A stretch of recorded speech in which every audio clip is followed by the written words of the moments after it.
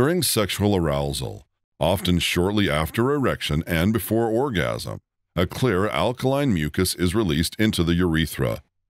This is called pre-ejaculate. Pre-ejaculate comes from tiny but powerful glands called Cowper's or bulbourethral glands. Two small pea-sized glands that are located just below the prostate and superior to the bulb of the penis and are connected to the urethra by tiny ducts. They are homologous to Bartholin glands in females, which also produce lubricating fluid. These glands are activated during sexual arousal, driven by signals from the brain.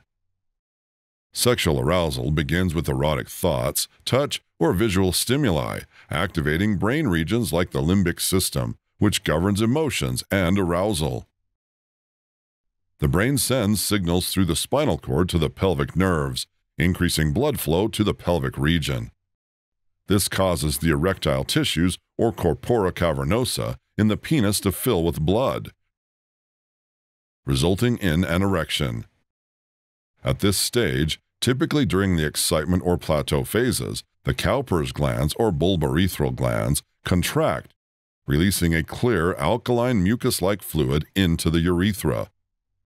Pre-ejaculate is made up of several components. It contains mucus, which is a thick and slippery fluid that provides lubrication, and alkaline substances that help neutralize acidic traces of urine in the urethra to create a safer path for sperm.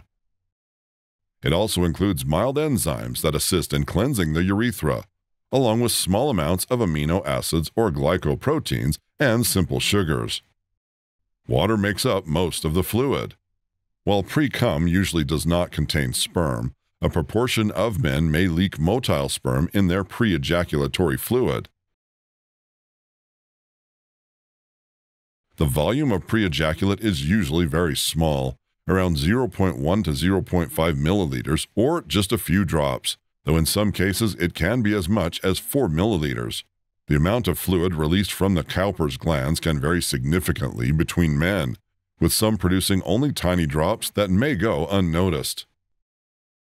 Some men may have smaller or less active Cowper's glands, being dehydrated, experiencing lower levels of arousal mentally or physically, or age related changes can all reduce secretion. In rare cases, medical or surgical issues affecting the glands may also play a role. Low or no pre ejaculate does not affect erections, semen production, fertility, or orgasm. It simply means there is less natural lubrication, which may sometimes cause mild discomfort during sex or masturbation. In such cases, using a lubricant is an easy solution, and unless accompanied by pain or other symptoms, the absence of precum is not considered a medical problem. In rare cases, the Cowper's glands can become infected, called Cowperitis often due to bacteria from urinary tract infections or STIs, causing pain, swelling, or discomfort during urination or ejaculation. Treatment is done with antibiotics, and in severe cases, an abscess may need to be drained. Even though it's mostly protective, pre-cum can carry bacteria or viruses, including HIV, gonorrhea, chlamydia, and herpes, and spread the infection to a partner. That is why using condoms is important, even if a man does not ejaculate, because pre-cum itself can transmit infections. Pre-ejaculate can still cause pregnancy, even though it usually doesn't contain sperm. After a previous ejaculation, sperm may remain in the urethra, and when pre-ejaculate is released, it can pick up these leftover sperm and carry them out. Even a very small number of sperm is enough to fertilize an egg, especially if pre-ejaculate enters the vagina during a woman's fertile window around ovulation. While it's commonly believed that urinating after a previous ejaculation will flush out any remaining sperm, studies have shown that this isn't always the case.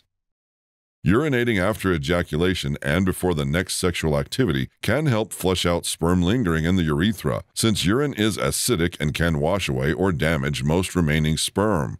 However, this does not fully guarantee safety, because a few sperm may survive if they are lodged deeper in the urethra or not fully cleared out. So it is not guaranteed to be sperm free. For this reason, while pre ejaculate carries a lower risk of pregnancy compared to ejaculate, the risk is not zero, which is why the withdrawal or coitus interruptus, where a man pulls out before ejaculation, is not considered a reliable contraceptive method. The pull-out method has about a 1 in 5 chance of causing pregnancy with typical use.